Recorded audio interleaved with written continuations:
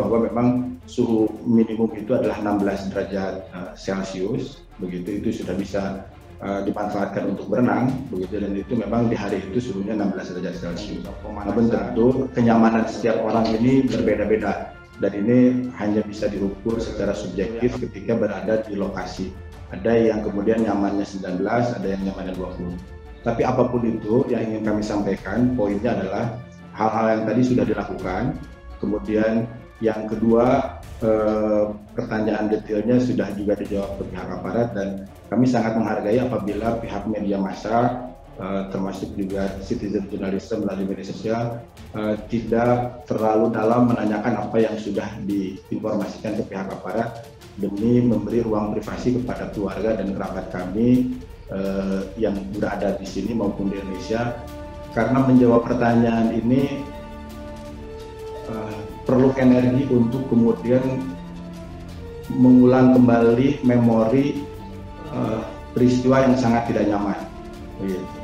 Dan kami sekali segala keluarga uh, menyatakan sudah mengikhlaskan apa uh, apa yang sudah terjadi menjadi takdirnya. Ini karena kami sangat meyakini wa matan langsung fi ayyi arbin tamut. Tidak ada seorang pun yang mengetahui di lokasi mana seseorang itu akan wafat. Saya dilahirkan di New York, kami tidak menduga juga lahir di New York, dan kemudian kami juga tidak menduga bahwa kemudian takdirnya ada yang dijemput di sini. Sehingga kami sekali lagi sangat menghargai apabila pihak media massa, uh, citizen journalism juga tidak uh, mengulang-ulang pertanyaan yang sebenarnya penjelasannya sudah disampaikan kepada pihak kepolisian demi memberi ruang privasi kepada keluarga dan kerabat kami. Terima kasih banyak. Ya, uh, terima kasih Pak Elvi atas penjelasannya. Nah, ini ada pertanyaan lagi Pak. Bapak, tapi langsung kepada Pak Dubes dari FOI mengenai adanya kabar perubahan status pencarian orang hilang menjadi orang tenggelam. Benarkah itu? Terus, apakah ada perubahan uh, status pencarian tersebut? Terima kasih Pak. Uh, terima kasih atas pertanyaannya. Uh, saya bisa sampaikan di sini bahwa tidak pernah ada perubahan status ya.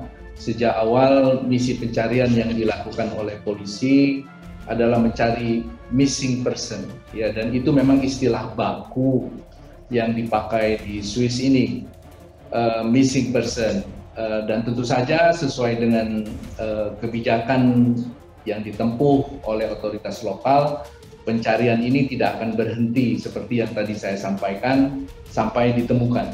Jadi eh, kita tentu saja berdoa bersama. Mudah-mudahan upaya pencarian yang dilakukan oleh otoritas Swiss eh, bisa segera eh, memberikan informasi sesuai dengan harapan kita.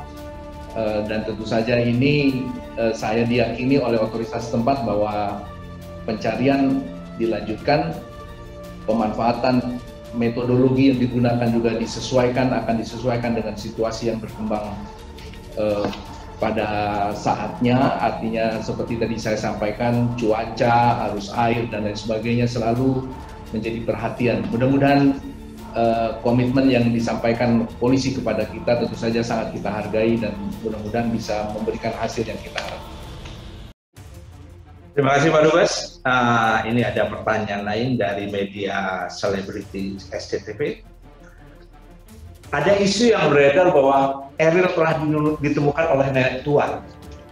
Benarkah itu Pak? Saya hanya bisa mengatakan pencarian oleh polisi terus dilanjutkan, ya dan uh, dengan menggunakan the most possible way yang bisa dilakukan oleh aparat setempat. Jadi kita dukung aparat setempat untuk terus melanjutkan usaha maksimalnya agar keinginan kita semua bisa uh, terwujud. Tentu saja yang terbaik bagi Ananda Eril uh, ingin kita saksikan tentu saja nantinya dan membawa ketenangan bagi keluarga. Saya kira demikian. Terima kasih Pak Dubes atas uh, penjelasan yang diberikan.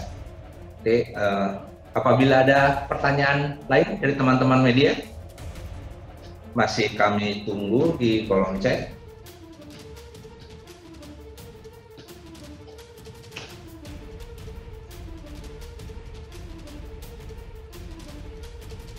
Oke, Ini dari RRI ya. Oh ya, ini dari IDN Times lebih dahulu Pak. Apakah ada target dari kepolisian Swiss sampai kapan proses pencarian dilakukan? Oke, terima kasih. Seperti yang dijelaskan kepada kami dari pihak polisi dan Simsar bahwa tidak ada target waktu, ya, karena ini menjadi uh, tugas pokok dari mereka melakukan pencarian terhadap uh, missing person di uh, Sungai Are ini. Jadi kita dari waktu ke waktu tentu saja akan diupdate jika ada perkembangan. Dan tentu saja kita juga selalu kontak mereka apa yang mereka lakukan hari ini uh, dan bagaimana fokus pencarian pada hari ini, apakah teknologi yang dipakai uh, untuk pencarian hari ini dan lain sebagainya. Anytime polisi setempat terbuka kepada kita dan tentu saja ini sangat kami hargai sehingga dengan demikian sekali lagi menjawab pertanyaan pencarian akan terus berlangsung sampai ketemu kira-kira mungkin secara singkat bisa saya sampaikan seperti itu. Terima kasih Pak Dumas. Pertanyaan lain dari uh, media RRI mengenai bagaimana tanggapan Bapak terkait keinginan Basarnas untuk dilembatkan untuk pencarian Eril Pak. Mungkin nanti juga bisa pihak keluarga juga bisa menambahkan Pak Erwi. Uh, saya selalu diskusi ini uh, dengan pihak terkait dan juga dengan Pak El, Pak Epi dan keluarga. Yang pertama mungkin yang bisa sampaikan, saya sampaikan pada kesempatan siang hari ini, tentu saja kita mengapresiasi uh, banyak sekali keinginan warga untuk membantu. Dan ini saya melihatnya sebagai refleksi kecintaan warga kepada Ananda Eril ya. Dan ini tentu saja sangat memberikan uh, apa semacam kebanggaan bagi keluarga ya begitu banyak masyarakat yang sayang pada Eril ya Sekali lagi tentu saja keinginan ini sangat dihargai. Namun tentu saja kita perlu mematuhi prosedur yang ada ya eh, kita harus berkoordinasi karena tentu saja pemerintah Swiss juga punya mekanisme dan sistem yang sudah standar. Uh, intinya tentu saja eh, keinginan-keinginan uh, itu mesti kita atau harus kita diskusikan dengan otoritas setempat. Ya, bagaimana hasilnya tentu saja Eh, kewenangan ada sepenuhnya di otoritas setempat. Uh, intinya uh, keinginan untuk membantu tentu saja kita sampaikan kepada otoritas setempat, kita salurkan pada jalur yang pas agar kemudian pihak otoritas setempat juga berkenan untuk melakukan kerjasama. Ya, jadi uh, saya tidak bisa menjawab secara tuntas karena kewenangan untuk menjawab sepenuhnya ada di otoritas setempat yang akan saya lakukan adalah menjembatani keinginan ini untuk disampaikan kepada otoritas setempat untuk menjadi perhatian dan nanti tentu saja akan kita diskusikan dengan pemerintah ataupun otoritas setempat. Saya kira demikian.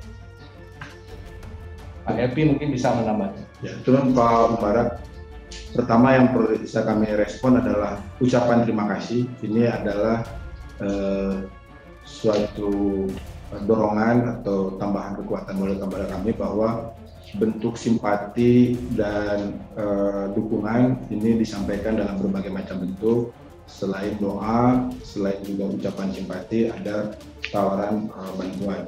Tentu kami sekali lagi sangat berterima kasih, namun untuk uh, sifatnya koordinasi teknis dan taktis karena ini uh, sifatnya melintasi wilayah negara di luar yurisdiksi Indonesia, di luar wilayah Jawa Barat yang menjadi kewenangannya Kang Emil, kami akan selalu berkoordinasi dengan pihak KBRI dan kami juga berharap uh, supaya dari teman-teman atau siapa yang membantu dapat berkoordinasi dengan KBRI sehingga bisa ditempatkan secara proporsional dan pas. Mungkin itu yang bisa saya respon. Uh, terima kasih Pak Elbi. Nah ini rupanya banyak pertanyaan buat Pak Dubes ini.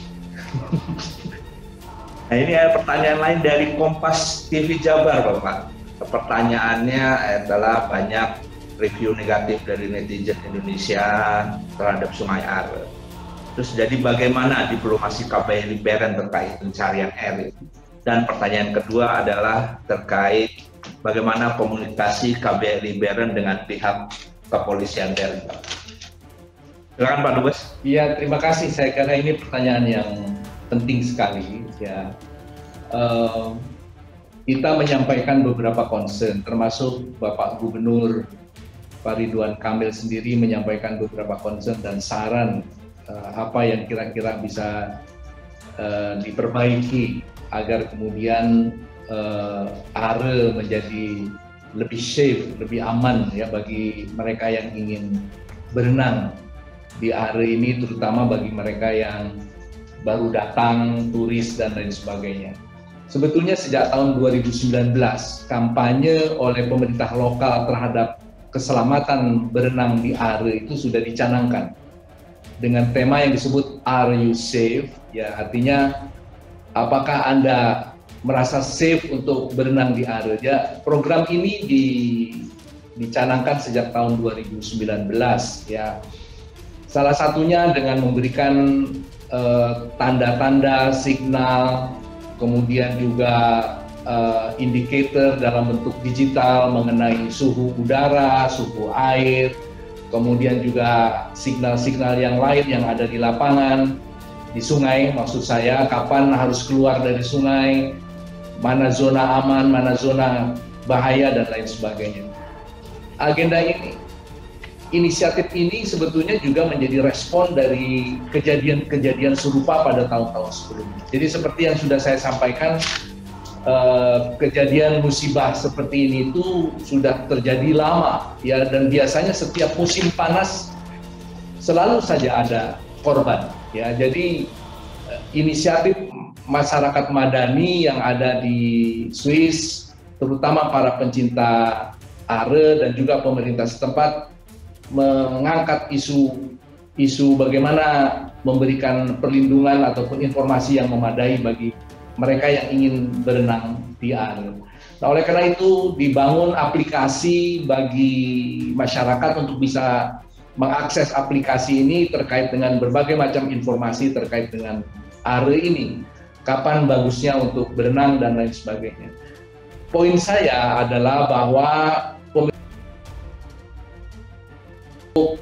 uh, memperbaiki boleh kalau boleh saya katakan ya uh, keamanan untuk berenang di air dan tentu saja uh, seperti yang tadi saya sampaikan kejadian tetap berulang uh, dan ini menjadi bahan masukan bagi otoritas setempat apalagi yang kira-kira perlu diperbaiki agar kemudian betul-betul safe bagi siapa pun yang ingin berenang di air. Dan tentu saja memang seperti tadi saya sampaikan pemerintah sudah memberikan signal uh, dan tanda-tanda, uh, tapi kemudian juga masih banyak uh, kecelakaan yang terjadi, terutama pada musim-musim panas seperti ini, ketika banyak orang berenang. Uh, ini tentu saja tantangan dan uh, kami bangga sekali mendengar di tengah-tengah kesedihan Pak Gubernur Ridwan Kamil juga menyampaikan masukan kepada otoritas setempat, terutama kepada Mayor of Bern, uh, apa yang kira-kira perlu diperbaiki, termasuk misalnya usulan dari Pak Gubernur agar sejumlah CCTV ditambah, ya uh, di sepanjang sungai yang memang biasanya digunakan untuk berenang oleh warga. Jadi dengan demikian tambahan CCTV itu bisa melengkapi seluruh jalur sepanjang Sungai Are yang sering dipakai untuk berenang. Saya pikir masukan ini ditanggapi dengan baik oleh otoritas setempat dan juga disampaikan kepada yang berwenang untuk kemudian mempertimbangkannya. Jadi menjawab pertanyaannya, upaya untuk meningkatkan keselamatan di air sudah menjadi concern publik ya. Inisiatif-inisiatif juga sudah dilakukan oleh pemerintah setempat, dukungan teknologi juga sudah dimasukkan di dalamnya termasuk informasi digital, aplikasi dan lain sebagainya Eh, namun tentu saja uh, musibah tidak bisa dihindari uh, dan tentu saja perbaikan untuk penyempurnaan menurut saya memang tidak salah untuk dilakukan. Jadi saya kira mungkin jawabannya demikian. Terima kasih. Terima kasih Pak Dubes untuk jawaban yang uh, diberikan oleh Bapak. Ini ada lagi pertanyaan dari rekan media dari INS TV yaitu terkait berapa banyak tim yang dikerahkan dalam pencarian uh, Ananda Eril Silakan Bapak. Uh, seperti yang sudah selalu kami sampaikan dalam rilis kami setiap hari, ya, yang jelas ada uh, beberapa unsur, ya, polisi sungai atau mungkin polisi maritim boleh disebut, ya karena sini tidak ada laut, ya polisi polisi sungai, ya, polisi regional, kemudian polisi medis, pemadam kebakaran, terutama ketika melibatkan pengenda, pencarian dengan penggunaan teknologi dan drone misalnya, uh, pemanfaatan anjing pelacak dan lain sebagainya yang uh, disesuaikan dengan medan pada hari hari hanya ya karena seperti tadi saya sampaikan sangat ditentukan oleh cuaca ya uh, artinya uh, tim pencarian terdiri dari berbagai macam unsur polisi ini uh, ataupun tim SAR ini selalu disesuaikan dengan medan atau situasi yang berkembang pada hari hanya. Kita memastikan saja bahwa polisi tetap terus bekerja dan melaporkan jika ada hal-hal yang uh, penting untuk disampaikan kepada kita. Termasuk juga mereka juga terbuka untuk menerima masukan kalau misalnya dari pihak keluarga ada pertanyaan dan lain sebagainya yang tentu saja diteruskan oleh kami kepada mereka untuk kemudian uh, mereka akan tentu saja mencoba mengklarifikasi concern-concern keluarga dimaksud. Saya kira demikian Pak Umbaran. Terima kasih Pak Dubes uh, atas jawaban. Oh, ada lagi nih dari MNC Media, yaitu melihat korban yang terjadi eh, setiap tahun antara 15 sampai 20. Apakah ada rencana pemerintah Swiss untuk menutup sungai Are tersebut, Bapak? Atau melarang berenang bagi warga lokal maupun turis? Uh, ini merupakan kewenangan otoritas setempat tentu saja ya. Jadi saya tidak bisa banyak memberikan komentar di sini karena itu kewenangan otoritas setempat ya. Tapi yang saya bisa jelaskan adalah upaya untuk terus memperbaiki. Seperti yang tadi saya sampaikan, kampanye, edukasi, pemanfaatan teknologi, dan lain sebagainya, semua itu dilakukan agar kemudian memberikan kenyamanan, kenyamanan ataupun persiapan bagi para pengguna air pada masa-masa yang akan datang. Saya kira demikian. Oke, terima kasih Pak Rubas, uh, Pak Elvi, rekan-rekan media, ini sebelum kita tutup press briefing uh, hari ini, apakah ada uh, mungkin Pak Dubes nanti ada penjelasan tertutup atau Pak LP ada penjelasan penutup dari acara press briefing ini? Mungkin dipersilakan kepada Pak LP terlebih dahulu, nanti dilanjutkan kepada Pak Dubes. Silakan Pak LP. Uh, sebagai penutup untuk uh, brief media hari ini Pertama sekali lagi kami mengucapkan terima kasih banyak kepada seluruh yang menyampaikan uh, simpati. Kami tidak bisa membalas satu persatu. Kami juga terima kasih kepada pihak uh, media yang uh, tetap memberikan ruang privasi kepada uh, keluarga kami di Indonesia, di Swiss maupun kerabat kami untuk bisa mencerna situasi dan tetap berkoordinasi secara uh, terukur, profesional dengan aparat. Dan uh, ini uh, juga memberikan kekuatan kepada Kang Emil untuk kemudian hari ini kembali bertugas melayani warga uh, Jawa Barat yang populasinya uh, 50 juta.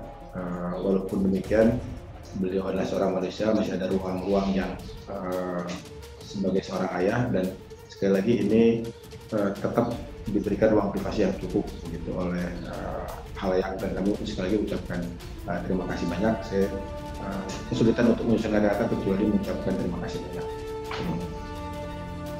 Silakan Pak Dubes. Oke, terima kasih. Uh, saya tentu saja melihat uh, bagaimana keluarga tabah dalam menghadapi musibah ini dan tentu saja kami yang bertugas di Swiss uh, terus akan melaksanakan tugas sebagai jembatan dan juga sekaligus memfasilitasi dan juga saya kira ini penting terutama komunikasi yang tetap harus terjaga antara otoritas setempat dengan KBRI dan pihak keluarga. Alhamdulillah saya pikir ini tercipta dengan baik. Ya komitmen yang disampaikan pihak kepolisian juga tentu kita pantau. Upaya-upaya pencarian seperti yang tadi saya sampaikan akan terus berlanjut ya akan terus berlanjut dan mudah-mudahan kita akan mendengar kabar baik. Kita berdoa bersama-sama uh, semua agar doa kita uh, terkabul tentu saja ya dikabuli oleh Allah Subhanahu wa taala. Uh, saya kira demikian. Uh, walaupun nanti mungkin uh, pihak keluarga kembali ke Bandung uh, saya ingin menegaskan bahwa KBRI akan melanjutkan tugas-tugasnya uh, dan menjadi kontak person atau kontak yang uh, di, kontak yang dapat dihubungi oleh baik oleh pihak keluarga terutama untuk memantau perkembangan dari proses pencarian. Dan kami tentu saja akan tetap menjalin hubungan yang baik dengan otoritas setempat baik pada level kanton atau level lokal maupun pada level federal pemerintah pusat Swiss ya karena seperti tadi saya sampaikan peristiwa ini sudah menjadi perhatian baik pada level lokal di Swiss maupun pada level uh, federal di Swiss. Mudah-mudahan sekali lagi semua upaya baik dan semua upaya yang sangat suportif dari berbagai macam pihak bisa uh, berhasil dengan baik nanti. Saya kira demikian mohon doa dari seluruh media uh, kita ingin uh, melihat bahwa upaya optimal ini bisa berhasil dilakukan. Saya kira demikian dari saya. Terima kasih banyak. Selamat sore buat kawan-kawan di Indonesia. Terima kasih. Assalamualaikum warahmatullahi wabarakatuh. Terima kasih Bapak Dubes, Pak Kang Elvi atas penjelasan penutup yang diberikan. Saya Umbara Setiawan, koordinator fungsi protokol dan konsuler dari KBRI Beren, yang bertindak sebagai moderator hari ini, mengucapkan terima kasih kepada kehadiran rekan-rekan media dan Bapak Ibu sekalian. Mohon doanya Mohon doanya sekali lagi agar pencarian ini membuahkan hasil secepatnya. Terima kasih, selamat pagi waktu Swiss dan selamat siang waktu Indonesia. Assalamualaikum warahmatullahi wabarakatuh. Waalaikumsalam. Jadi